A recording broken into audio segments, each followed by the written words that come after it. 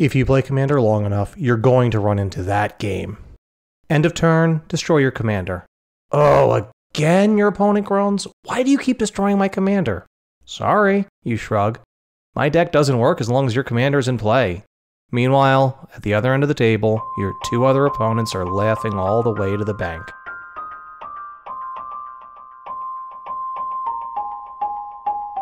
Hello and welcome to another episode of Gemstone Mine. I'm John, and today we have another lesson from CEDH. CEDH is a metagame within the Commander format that sits at one extreme with highly consistent, highly efficient decks.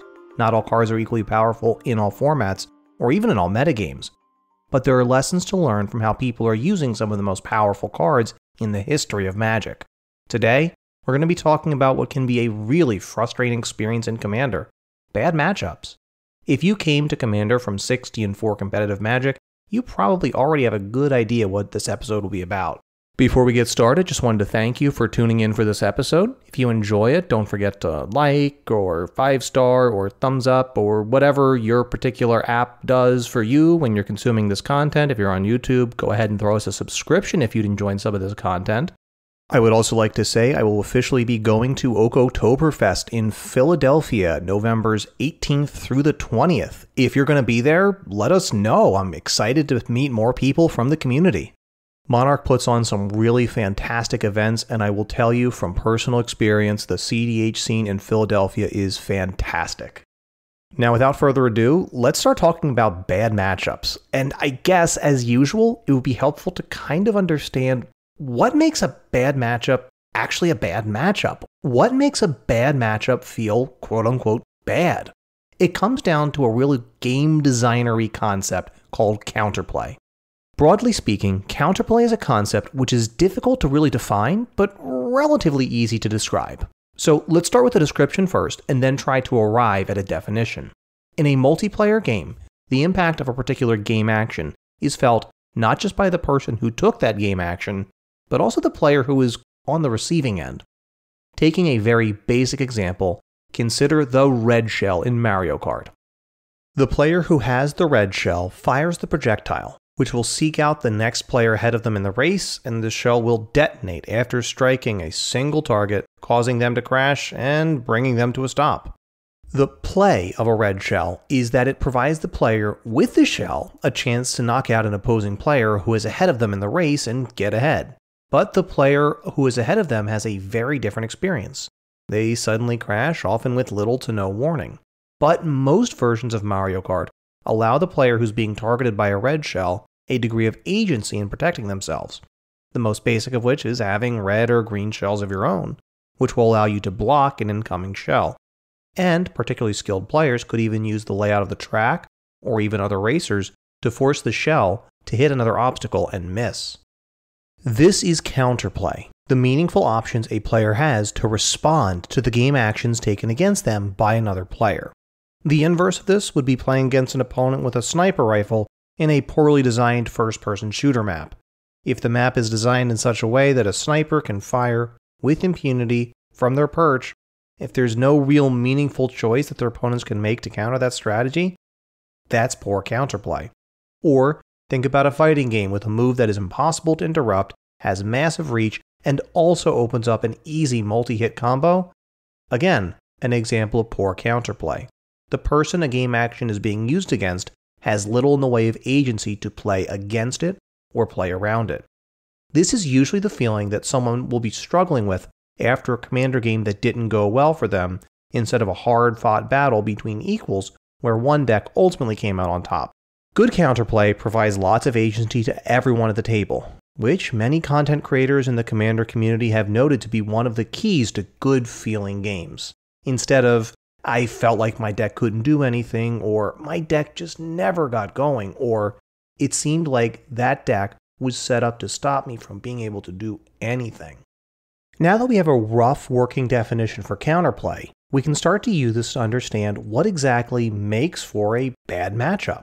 And basically, our bad matchups are going to be ones where our deck in particular is going to have more limited counterplay than it would otherwise, often to such a degree that it limits your ability to just have fun playing the game.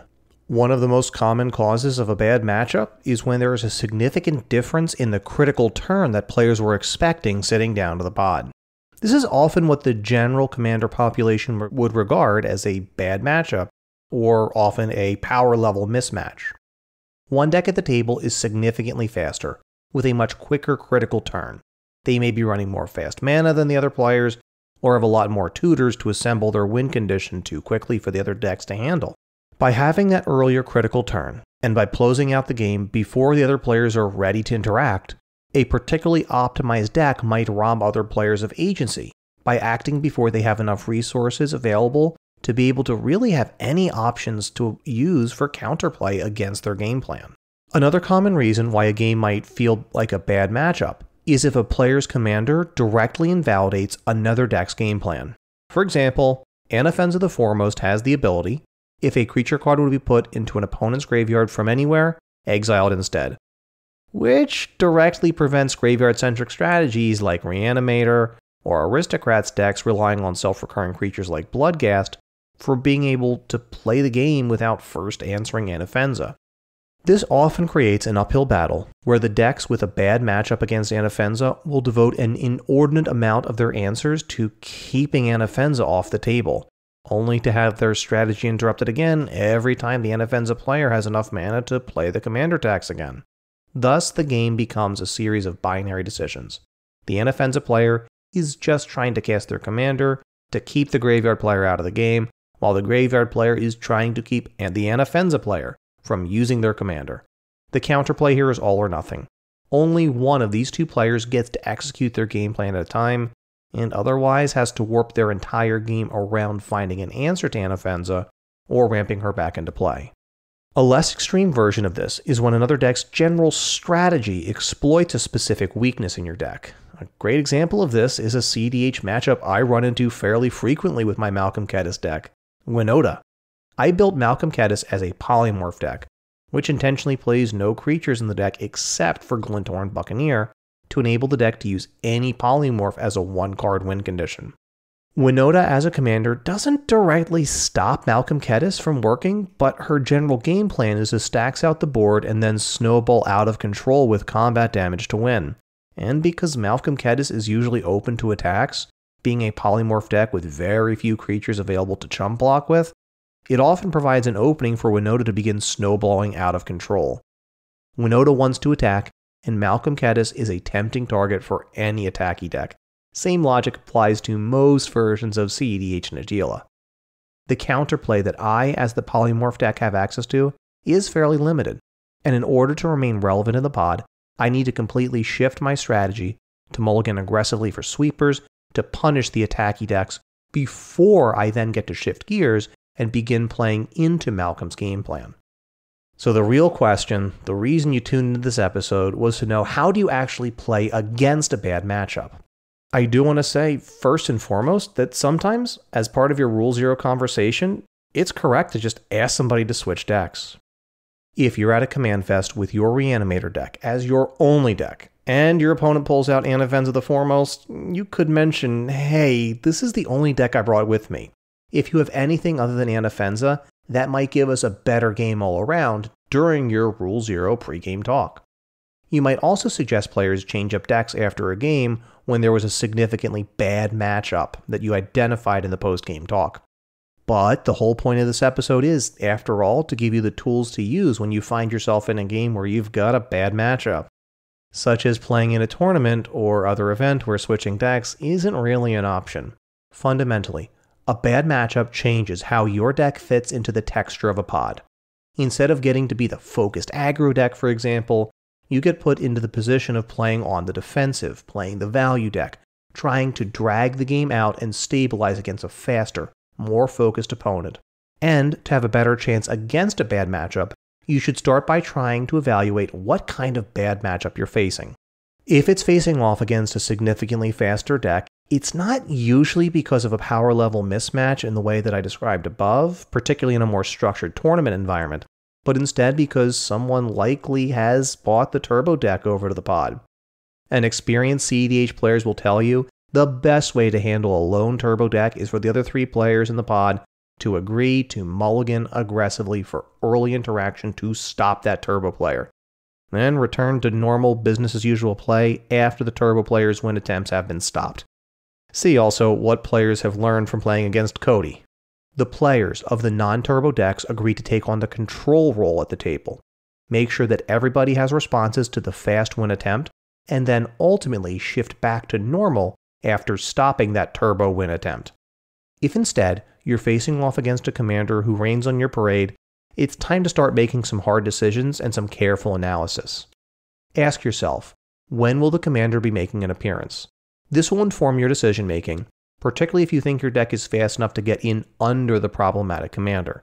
There's a big difference between to try to get in under the 6 drop commander versus trying to get under the 2 drop commander.